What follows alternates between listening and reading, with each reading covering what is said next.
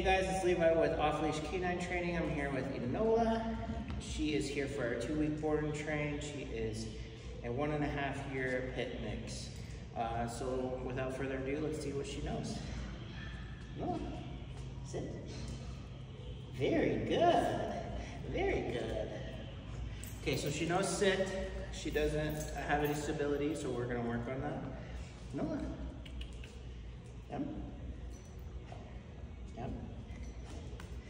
So many kisses. No, please. Please. So it doesn't know place, doesn't know down. Very curious about the object. Noah, come. Come. Yeah. Kind of a tight space. It looks like she does know the word come. Let's see. Noah, come. Okay, so she listens whenever she wants to, whenever she wants to come to me. Um, we'll check back in two weeks and see how she's doing. You ready?